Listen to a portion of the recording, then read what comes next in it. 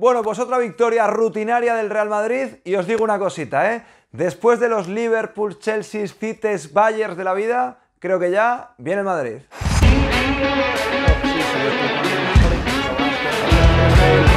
Se le deja líder.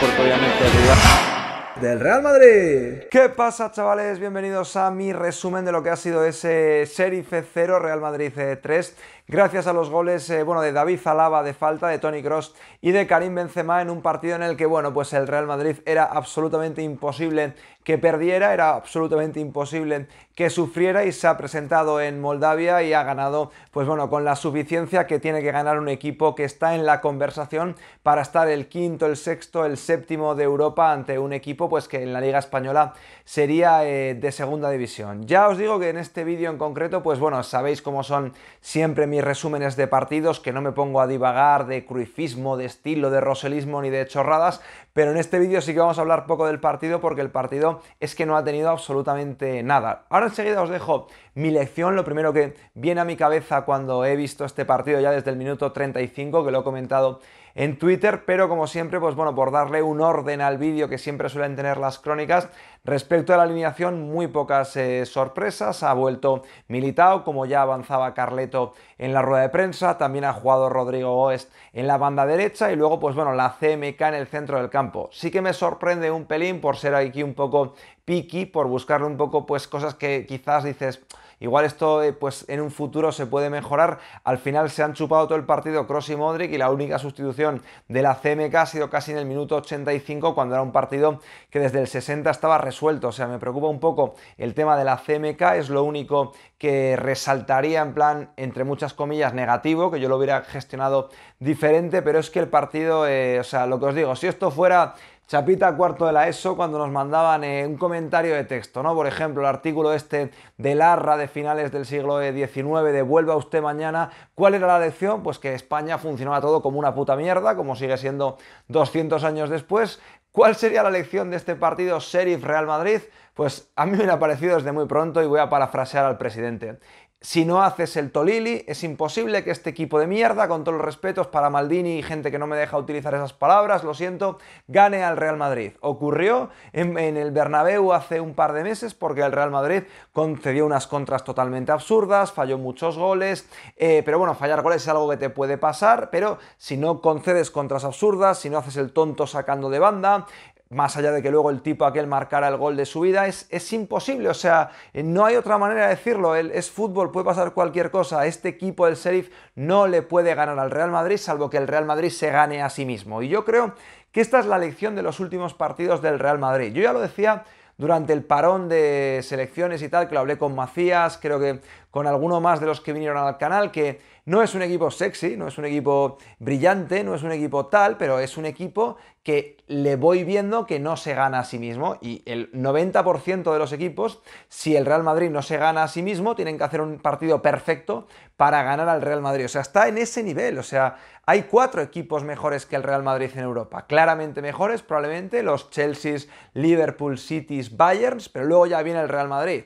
Creo que esos cuatro siguen siendo animales completamente diferentes a lo que es o me temo que puede ser el Real Madrid, o sea, creo que no se va a estrechar la diferencia para estar con esos equipos, pero con el resto de verdad es mejor que el 80% de los equipos y luego hay varios equipos, por los Atléticos Sevillas de la vida, que pueden estar ahí con el Real Madrid si hacen grandes partidos. Llevan tres años sin ganarles, no es casualidad. Ahora me siento un poco gilipollas realmente porque yo acabé la temporada pasada diciendo nos han robado la liga, ha habido 60 lesiones, pero este es el mejor puto equipo de España por segundo año consecutivo. No sé en base a qué, en base igual a sobrepensar, y es lo que no hay que hacer jamás en la vida. Yo llevo hasta que ya me he bajado de ese carro hace una semana y media, diciendo que veía al Atlético de Madrid por encima. Y, ahora lo repienso y digo, joder, si tú has dicho que era el mejor equipo y es el mismo equipo, tú has dicho 80 veces que, con estos Jimmys y estos Johnnys, con Alaba y con Militao no se iba a notar como no se está notando lo de Ramos y Barán. No sé de dónde cojones me salió decir que el Atlético estaba por encima del Real Madrid, pero estaba completamente equivocado. Creo que el Real Madrid va a ser campeón de liga y creo que va a estar en la conversación por dar algún que otro susto en la Champions League. ¿Por qué?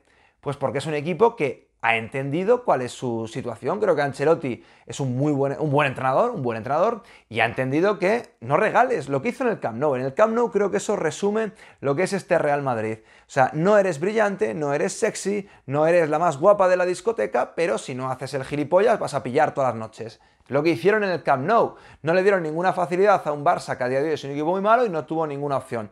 Eso es lo que han empezado a hacer ahora. Hoy, por ejemplo, partido de ritmo bastante lento, partido en el que siempre se quedaban cuatro detrás, que no te cojan ninguna contra. O sea, eh, lo básico, hacer lo básico que luego tienes pegada, este equipo tiene pegada, este equipo tiene cosas positivas.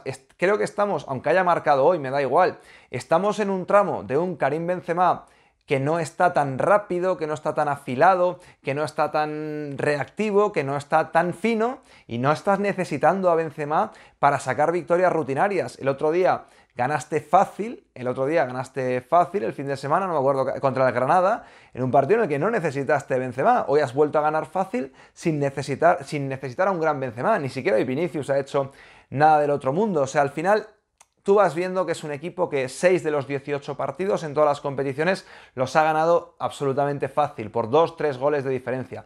Que hay un par de partidos por ahí perdidos, Elche, aunque ahí sí que en Elche no jugó realmente bien y fue solo Vinicius la diferencia, pero sobre todo Rayo y Levante si no hubieran hecho el Tolidi, que los hubieran ganado rutinariamente. Es un equipo que gana bajándose del autobús, que gana muy fácil, que gana no matándose a sí mismo y eso es realmente importante. Al final, pues os dejo por aquí, por comentar del partido, un mapa de toques del Sheriff en el área del Real Madrid y es que no ha habido absolutamente nada. Ha habido un par de escaramuzas ya con 0-3, un tirito, un tiro al palo de un centro chut de estos que, pues, pues, que encuentra rematador o no y si no, pues va encaminada a portería, pero o sea, victoria dualmente rutinaria. El otro día fue un 1-4, pero para mí en mi cabeza es un 0-4, o sea, para mí el otro día a nivel de funcionamiento del equipo fue una portería cero y, repito, o sea que es un equipo que, bueno, me parece que ha entendido lo que es, ha entendido lo que es, ha entendido que no tiene por qué ser un equipo brillante, que tiene tramos, tiene tramos, tiene tramos de brillantez, tiene tramos de buen juego, tiene tramos de la CMK, que ahora luego comentamos un poco en actuaciones individuales en las cuales te da cosas eh, realmente interesantes y de brillo, lo tiene este Real Madrid, pero que sobre todo, si vuelve a los postulados de ser el equipo que ha sido las dos últimas temporadas de no ganarse a sí mismo, ni en la propia Champions el año pasado se ganó a sí mismo y eso le permitió hasta estar vivo contra el Chelsea. En el eliminatorio igual engañosa, pero le permitió. Si no se gana a sí mismo, sé que este año le ha ganado un sheriff de la vida, un español de la vida, pero lo siento, no le pueden ganar estos equipos. Es, son animales muy diferentes. Así que para mí esa es la gran lección del partido de hoy, un partido que nos olvidaremos de él, del viaje a Moldavia, se acordarán solo los que hayan ido. Y luego así, actuaciones individuales, eh, me ha gustado Rodrigo, dos pases clave, una asistencia, ha tenido un par de situaciones eh, de área. Bueno, yo creo que ahí creo que hay un buen, un buen 1-2. O sea, eh, seguramente tengas entre Asensio y Rodrigo, pues dos, dos, casi titulares, que igual ninguno te da el super perfil para ser titularísimo en la banda derecha del Real Madrid, pero que bueno, creo que los dos están un poco ahí retroalimentando y creo que Rodrigo ha hecho un buen partido. Y luego, por ejemplo, la, la CMK con Cross, bueno, un absoluto golazo que ha marcado, 97% de acierto Cross, 96 largo Casemiro, al menos el último check que he hecho, que eso luego se actualiza un poco. Si se confirma el 96, habrá vuelto a ser el partido de mejor porcentaje de pases de Case. Eh, Modric también por encima del 90. Bueno, o sea, tampoco le doy una gran importancia, o sea es un equipo, es que es tanta la diferencia entre un Sheriff y un Real Madrid que no se puede analizar. Esto no es quitar méritos al Real Madrid, es que contra estos equipos el Madrid tiene que ir, hacer y irse y coger el avión lo más rápido posible y volverse y eso es lo que han hecho. Y luego pues me ha gustado por ejemplo eh, Mendy, creo que Mendy ha tenido un buen partido, ha dado una asistencia, ha aparecido por algunas zonas eh, de ataque interesantes, se ha movido bien, bueno luego en defensa pues es que pues al final es que es totalmente infranqueable. Ha podido descansar un rato, ha podido descansar un rato Carvajal, eso me parece bien porque son futbolistas bueno, pues que son absolutamente imprescindibles. Y, nada, ha ganado el Inter de Milán 2 a 0 al Shakhtar Donetsk. Enseguida viene el spin-off que ahí comentaremos un poco más. Y al final, pues bueno, la ecuación es sencilla. Eh, si ganas, si, si no pierdes contra el Inter de Milán en dos semanas, pues el Real Madrid será campeón de su grupo.